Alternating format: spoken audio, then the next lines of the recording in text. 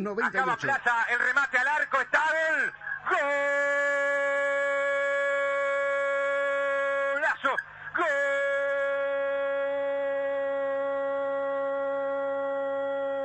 golazo de Plaza Colonia Dible.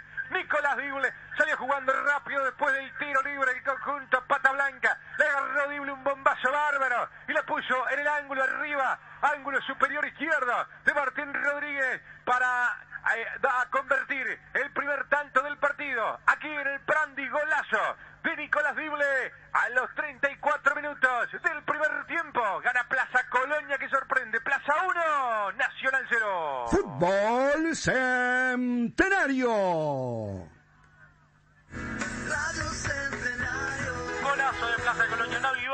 Camargo que sacó rápido el tiro libre, se la dio a la punta izquierda Nicolás Dible que llegó a la tarde, tarde a la marca Pablo García, enganchó para adentro y la colgó literalmente del ángulo.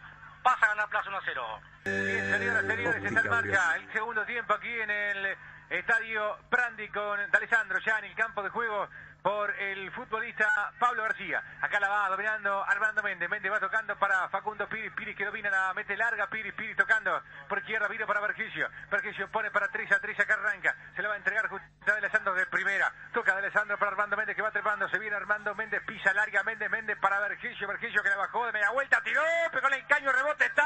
Gol. Gol.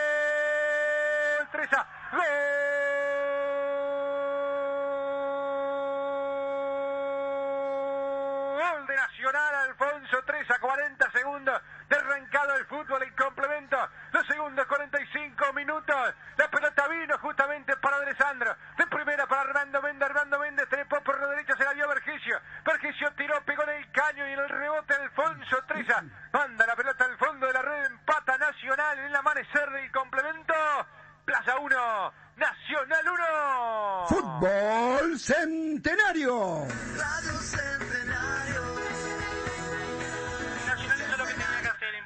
Movida para que el partido esté en igualdad de condiciones como cuando empezó. La primera que toca Alessandro, muy buena habilitación para Armando Méndez que tocó para Vergesio que hace siempre la misma y siempre le sale. Media vuelta, pega en el caño y en la rebota Alfonso 13 dice que Nacional empata 1 a 1. Hay una falta ahora sobre eh, Armando Méndez. Hubo un par de amarillas. Por lo menos la primera. Voy contigo, Bruno. Te escucho. Sí, para el 22, Leonardo Sousa en Plaza Colonia. Bueno, correcto. Ahora le han entrado duro un par de veces a Alessandro. Alessandro juega más que la pelota. Juega más que todo. Esa es la realidad, ¿no? Recién eh, quisieron hacer la vivada que hizo Plaza en el primer tiempo, sacaron rápido y Dible le pegó tremenda patada a Alessandro. Bueno, el tema es que, claro, tienen que eh, lo tienen que, que cuidar porque no aguanta de repente para jugar tantos eh, tantos partidos. Eh, esa por lo menos la explicación de Capucho, pero juega más que juega más que todo. Esa es la realidad. Nacho.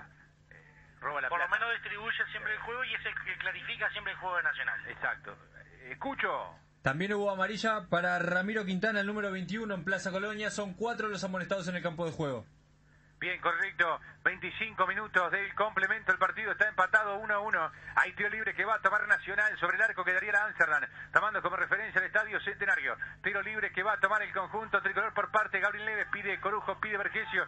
Pide también La Borda, pide Facundo Pide, pide Leandro Fernández. Centro al área que va a tomar el conjunto tricolor por intermedio del número 8. Gabriel Neves. Aparece también D'Alessandro. Va a venir el tiro libre para el conjunto tricolor.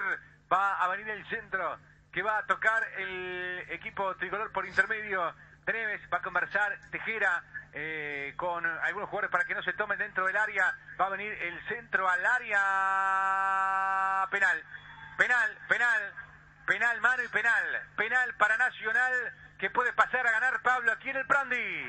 Para mí, eh, a primera vista, bien cobrado el penal, mano de Rizo. Me la van a tener que confirmar los compañeros en estudio, pero para mí, cuando la peleaba Corujo, bien cobrado el penal, mano de Mario Rizo. Bien, correcto. Después los compañeros cuando pase el penal nos van a decir si estuvo bien cobrado o no. Hay penal que va a tomar el goleador histórico de Nacional, por lo menos de los últimos, del- bueno, del siglo y Del de- siglo XXI seguro. seguro. 83 goles. Sí, sí, y creo que de los últimos 50 años también. También, también. Va, va a rematar Vergesio. Está colocándose Santiago Mele. Va a tirar Vergesio. Atención. Va a rematar Gonzalo Vergesio. Puede pasar a ganar Nacional. 27 tenemos del segundo tiempo. Brazos en jarra para Vergesio. 1-1 el partido. Atento está Santiago Mele. Va a rematar el capitán Va a llegar Gonzalo Vergesio. Nacional que busca pasar a ganar. Llega Vergesio. Tirol.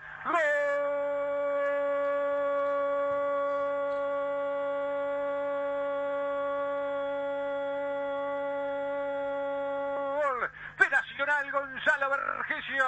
A la izquierda fue Santiago Mele. A la derecha lo tiró Vergesio. Bien rematado por el goleador, por el 9. Y a los 27 minutos del segundo tiempo pasa a ganar Nacional. El Prandis perdía 1 a 0. Gana 2 a 1 el goleador, el capitán, el argentino. Gonzalo Vergesio, sello argentino. Aquí muy cerquita en Colonia. Nacional 2. Plaza Colonia 1. Fútbol Centenario. Bien rematado el penal por el capitán y goleador de Nacional. A la derecha de Mele, Mele se tira a la izquierda, creo que se tiró un poquito antes de lo que la pelota llega, de que Vergesio llegara a rematar la pelota. El Nacional gana 2 a 1 aquí en Colonia.